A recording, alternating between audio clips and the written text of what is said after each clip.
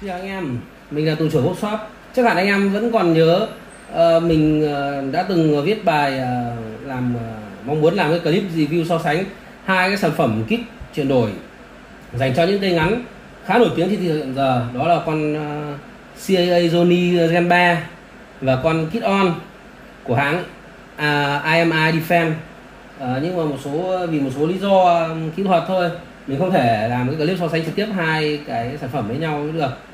Nên là mình đành phải làm uh, review từng cái sản phẩm một. Thì uh, trước đó mình đã làm clip review kit Sony Gen 3 rồi. Thì hiện tại trên tay mình đây đang là một cái sản phẩm còn lại. Chắc anh em đã đoán được rồi. Đây là kit kit on. Uh, dành cho Glock và một số mẫu súng khác. Rồi không dông dài nữa. Chúng ta sẽ vào nhân vật chính của chúng ta hôm nay là đây! Xem chúng ta có gì nào. Thứ nhất là một cái hộp dài nó dài gấp đôi kit uh, ờ, um, Sony Gen 3 ở trong hộp chúng ta có cái gì nào? À một lớp xốp bảo vệ. Hơi mỏng díu nhưng có xốp bảo vệ. Ồ, không mỏng lắm anh em ơi. Đây anh em nhìn này. Một lớp xốp bảo vệ giống như một cây airsoft thôi. Và nhân vật chính chúng ta đây rồi. Wow. Wow. Đây mình sẽ bỏ cái hộp xuống vì trong này chắc không có gì nữa rồi. Xem nào ở đây còn một cái after thôi không còn gì nữa. Sẽ bỏ cái hộp xuống. Ở đây nhân vật chính của chúng ta ngày hôm nay là đây. Rồi và đây là bộ phụ kiện after của nó đi kèm. Khá là dài. Khá là dài và chắc củ. Đấy là ấn tượng đầu tiên của tôi khi um, unbox được cái con uh, kit chuyển đổi này. Đây anh em có thể nhìn thấy. Tôi share cho anh em tầm nhìn của tôi dài dài dài dài dài dài dài dài dài. Dài. Đây em hình như thế. Dài lắm anh em ạ. Đấy. Nó như một cây.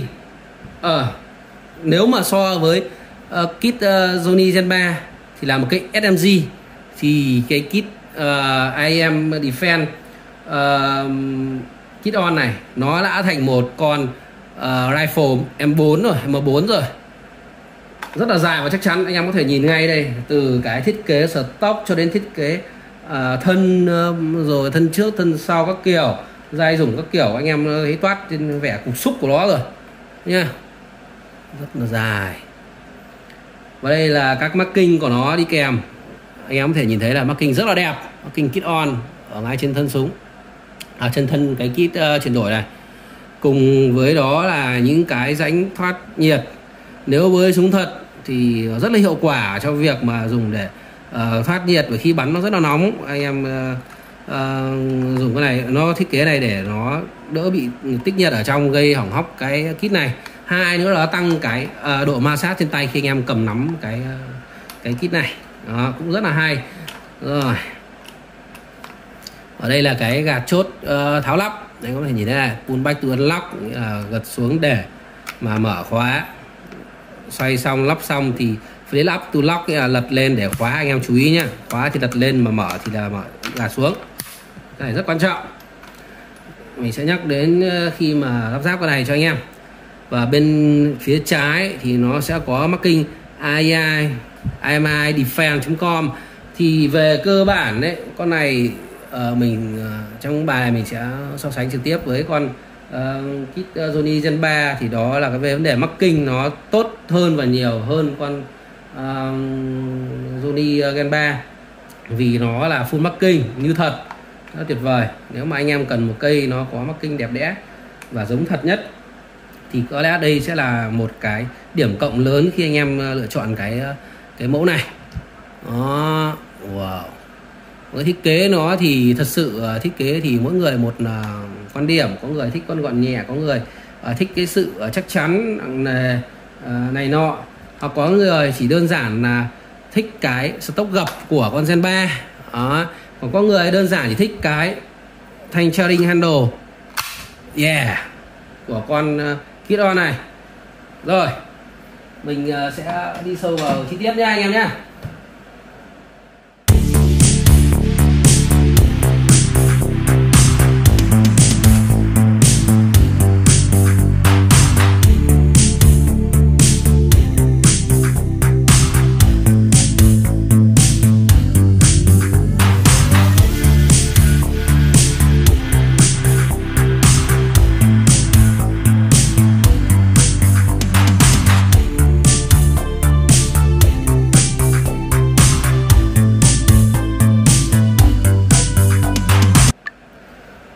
về phụ kiện.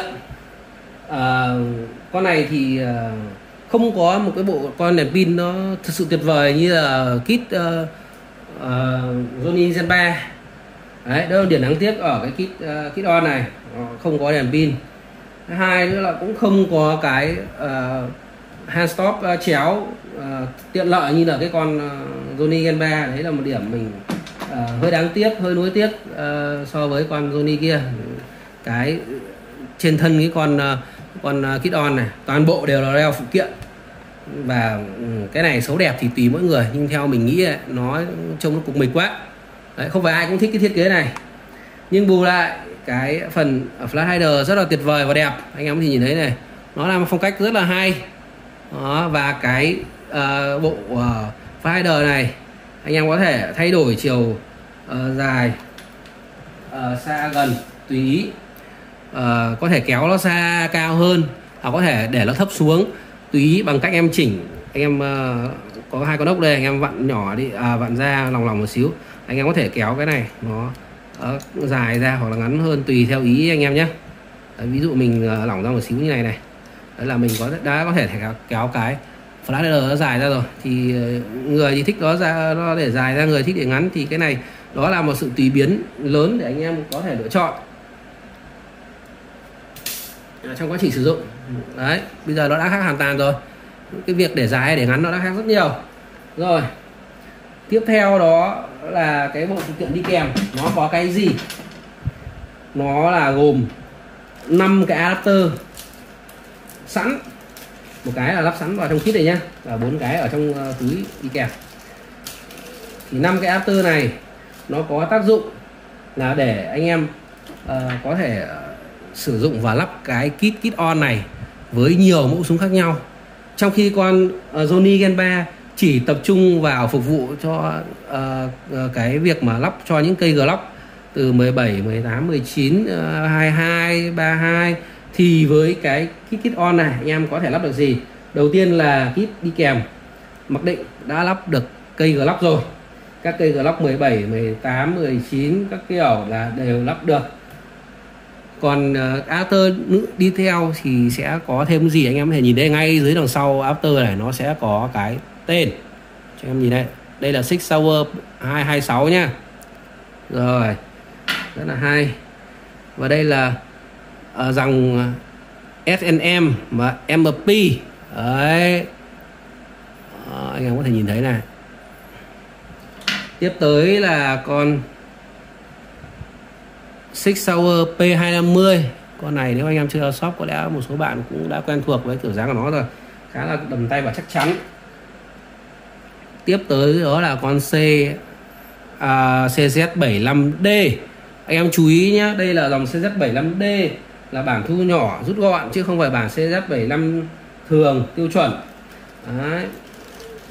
hơi đáng tiếc là con này nó lại không hỗ trợ uh, những cái dòng uh, kiểu cổ cổ như là 1911 hay là CZ75 uh, tiêu chuẩn vì cái con đấy nó có cái phần đuôi uh, safety uh, nó hơi dài có lẽ là mình nghĩ là nó không thiết kế để để để lắp được. Nhưng với nói chung với tài năng của những người anh em Việt Nam mình ấy thì mình nghĩ cái việc chế cháo những adapter này để lắp vào nó đơn giản thôi không có gì khó khăn cả. Anh em kéo tay một chút có thể in 3D hoặc là chế cháo và để lắp vừa không có gì khó khăn những cái vấn đề đấy. Rồi tiếp tới đi mình sẽ nói qua một chút những cái đặc điểm ở trên cái con kit kit on này. Nó có gì? Thứ nhất là anh em có thể thấy địa sự khác biệt ngay đầu tiên lớn nhất mà nhiều anh em à, quyết định là mua cái kit này đó chính là cái stock. Cái bộ cái bộ uh, thiết kế có túp kim loại và stock 5 lớp. Anh em chú ý nhé 5 cấp độ à, à, và đi kèm đi kèm cái kit này ấy, nó có cái stock theo mình thấy là rất là đẹp rồi. Cuối đó là cao su anh em nhé cao su nhé không phải nhựa nhựa đây. Đấy, cao su đây này rất rất là đẹp và gọn gàng. Tiện lợi cho em sử dụng đây. Nó là cái lever đây anh em bóp đây để thu và kéo tốc. Cực kỳ tiện lợi và chắc chắn nhé hơi lung lay một xíu thôi. Tất nhiên mình không thể nào nói hoàn hảo 100% như đồ thật được. Nó sẽ hơi lung lay một tí. Những này mình thấy còn tốt hơn chán vạn lần so với những cây GVB hoặc một số cây uh, một số cây ờ, uh, AG rẻ tiền uh, tầm bình dân nhé Mà dù cái kit này nó đâu có đắt tiền quá đâu ở trên cái uh, thân uh, cái stock này có đến uh, tận 3 điểm để bắt sling. Thứ nhất là bộ uh, bên quick detach này là tháo lắp nhanh này hai bên này chỗ vị trí này ở vị trí này là tháo lắp uh, sling quick detach tháo nhanh. Đây anh em nhìn thấy này. Cái này mình lắp thêm nhé không có kèm theo đâu nha anh em nhá. Đây không có kèm theo đâu anh em nhá. Đây lắp vào đây. Rồi à, mình kiểm tra một chút bằng kim loại anh em nhá. Rồi anh em yên tâm là nó sẽ bền theo thời gian anh em chứ không phải lo là bằng nhựa ờ, nhức là nó sẽ ờ, mòn dụng trong quá trình sử dụng. Hai nữa là mình có thể có chỗ luồn dây để anh em bắt cái ờ, dây đeo đơn. Đó, tiện lợi và thiết kế rất là đa năng. Anh em lắp kiểu gì cũng được quá tiện. Rồi thế còn về khả năng tùy biến của con này sao? Trước đầu vừa rồi clip thì mình mới nói là nó nó có thể kéo dài được cái flash header lên kéo dài thu ngắn các kiểu. Thế còn những cái tùy biến khác thì sao? À, như ở đây anh em có thể nhìn thấy ngay này. Mình hoàn toàn có thể kéo thanh trailing handle này sang trái sang bên phải tùy ý. Anh em thích lắp trái lắp phải đều được. Ai thuận tay phải thì lắp tay phải ai thuận tay trái thì lắp tay trái. Tùy theo cái nhu cầu sử dụng cũng như là cái à, sở thích của anh em mà lắp ở đây nó có những cái dây ờ, cố định để lắp. Hơi đáng tiếc là cái dây này là bằng nhựa thì mình cũng uh, hơi lo lắng về vấn đề mà lâu dài có lẽ dùng vài năm thì nó sẽ không bền được nhưng anh em uh, dùng đến uh, vài năm liên tục thì không bền được nhưng anh em dùng. Mà giữ gìn cẩn thận thì mình nghĩ chắc là không vấn đề gì đâu nhá. Còn nữa là vị trí của cái thanh charging handle này anh em nhìn thấy này nó hoàn toàn có thể di chuyển uh, theo uh, dài hoặc ngắn. Mình mình mình ờ, tháo hai con ốc nhỏ ở đây ở đây. Đây và đây. Mình tháo hai con ốc nhỏ ra thì nó sẽ trượt cái thanh Challenger ender này ở trên cái thân dây này uh, ở vào cái vị trí thích hợp với súng. Ví dụ như cây uh, cây nào slide dài thì mình kéo uh, lui lên một chút cây nào slide ừ, ngắn thì mình uh, sẽ kéo về lại một chút để cho nó vừa vừa với cái tầm kéo slide này. Đó để cho nó lên đạn được. Đó, anh em nhé cho phù hợp lên cái vấn đề có tùy biến cái cây này. Nó ăn điểm hơn con uh, kit Sony Gen 3 ở cái đó sẽ hỗ trợ được nhiều hệ thống súng ngắn khác nhau chứ không chỉ mỗi Glock. Và cái thanh tra ghi này theo như cá nhân của mình ấy nhận xét đấy thì nó chắc chắn hơn là cái cái cái thanh nhựa slide lock của bên uh, kit uh, kit kit uh, Sony Gen 3 vì ở trong hộp này nó là bằng kim loại. Đấy kim loại và là thép luôn anh em nhìn này. Nó là thép luôn. Đó. Hút luôn nhá. Thân thì bằng nhựa nhưng mà với những cái uh, quan trọng như là cái phần phần phần slide lock này họ làm bằng thép để tăng độ uh, chắc chắn. Nhưng cũng vì thế mà nó tăng cái trọng lượng của hệ thống này lên. Nên là ngay lập tức mình sẽ cân cho anh em xem sử so sánh với cái kit này thì trọng lượng nó sẽ là bao nhiêu. Đây anh em xem đi. Rồi. Đấy, như anh em có thể nhìn thấy cái kit này bây giờ nó đã là một cân 2 10 lạng nặng hơn kit uh, ờ, Sony Gen 3 khá nhiều. Kit Sony Gen 3 mà trước mình review có 900 mấy chục uh, gram thôi. Thì cái kit này hẳn một cân 2 thì nó đã nặng hơn khoảng tầm 30 phần trăm rồi nặng hơn 300 gram là khoảng 3 phần trăm nghĩa là hơn 1 phần 3 trọng lượng. Đấy là khá nhiều ba lạng anh em cầm trên tay là khá nhiều. Chưa kể cái kit này, nó khá dài nữa anh em ạ. Nó khá dài. Nên là cái việc mà anh em nhìn này, tôi thấy là không cân đối lắm. Nó hơi bị đẩy về phía trước. Đấy, nó hơi hơi bị ngả về phía trước một chút. Nếu mà đấy là chưa lắp súng và phụ kiện, thì khi anh em lắp súng và phụ kiện, anh em nhìn này, cái phần súng nó sẽ hơi nghiêng phía trước luôn nhé, chứ không phải là ở vào giữa thân đâu. Về giữa thân gần túp này thì đỡ thì nó sẽ cân bằng. Nhưng với thiết kế này thì nó sẽ phải hơi nghiêng về phía trước thì anh em lắp phụ kiện đèn đóm rồi grip các thứ. Thì vô hình chung cái kit này nó sẽ bị ngả phía trước như này. Nó sẽ ngả phía trước như này. Đó. Đây là một điểm à, thực sự là nó ờ, chưa được tối ưu của cái kit này theo như quan điểm cá nhân của mình. Đó là cái độ cân bằng nó chưa được tốt. À, thế còn cái vấn đề mà tiện lợi trong khi lắp đặt thì như thế nào? Đây anh mình sẽ à, vừa làm mình vừa hướng dẫn anh em lắp đặt luôn để anh em tự trải nghiệm cái kit này nhé rồi để lắp đặt. Trước nhất mình sẽ tháo đạn ra. Rồi cho an toàn để lắp đặt uh, kit này vào súng thì trước tết anh em phải uh, bỏ cái chốt an toàn ở đây ra. Nó khá là chặt. Em ừ. Ừ. khá là chặt đây anh em ạ. Nó chặt này mới tốt thì nó mới đảm bảo cho anh em là kit nó không bị dụng nữa khi quá trình mình sử dụng khi mình bắn. Rồi anh em rút đến đây nữa đến đây thôi nha anh em nhé đừng có rút quá là hỏng luôn á. Rút đến đây dừng lại này và đây nó có hai chốt hai bên hông. Hai chốt hai bên hông. Thì em bóp vào cái này. rồi. Ừ, rất là chặt. Và cái phần uh, nửa phần sau nó sẽ rời ra. Đây nhân tiện mình sẽ nói luôn anh em cái độ chắc chắn của kit này nó cục xúc. Tại sao mình nói là kit này rất là cục xúc? Ừ, đây anh em nhìn này nguyên cái cục phía sau. Phía sau. Phục back support phía sau. Rất là dày dặn và chắc chắn dày cui luôn. Cái này anh em có thể à, hoàn toàn lắp với những cây bắn đạn súng thật thể thao rồi bắn uh, bờ lanh rồi bắn cao su các kiểu mà không phải lo nghĩ gì vấn đề độ bền. À, vì những cái thiết kế nó chắc chắn này rất là khó để hỏng. Thậm chí cái kit uh, Johnny Gan 3 kia khách của mình mua về toàn lắp thể thao với lắp bờ lanh bắn ầm dầm mới còn không sao. Chứ nói gì những kit này nó cục như thế này. Rồi tiếp đến anh em lắp đặt thì mình sẽ uh, trước khi uh, lắp súng vào đấy thì mình sẽ phải mở cái khóa an toàn ra xuống. Rồi mình xoay lại một tí để cái phần thân trước nó mở ra một xíu như này. Nhé anh em xong anh em cho cái cây uh, súng của mình vào. Lắp hoặc bất kỳ cây gì theo đúng hỗ trợ. Cạch. Rồi nó có cái rãnh đây anh em cạch phát này. Rồi nhá đừng có lắp vội vội đừng có lắp vội đừng có lắp vội nhé mình cầm như này.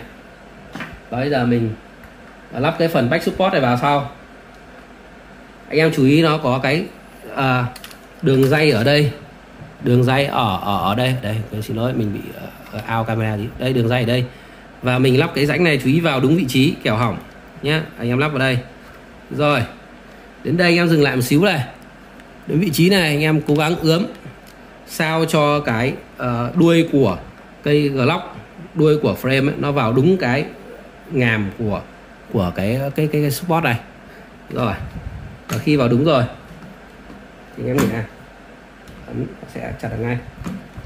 Rất là chặt đấy. Rất là chặt đây anh em ạ. Ừ. Wow. Mình phải dùng lực khá nhiều mới lắp được. Rất chặt chẽ. Rồi. Ui.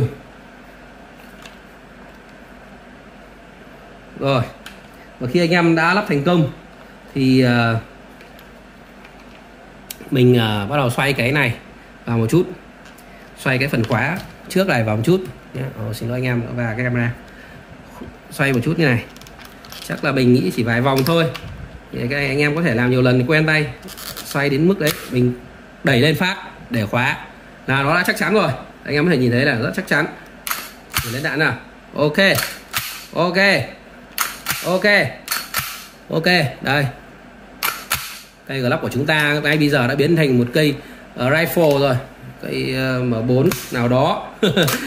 Cây này thiết kế nó hơi hiện đại xíu và mình sẽ bắn test luôn cho anh em xem cái slide nó xoay có thể ok không.